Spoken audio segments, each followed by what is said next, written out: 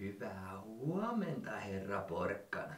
Tänäänhän on todellakin kaunis aamu. Kyllä. Mitä me tänään tehdään, herra Porkkana?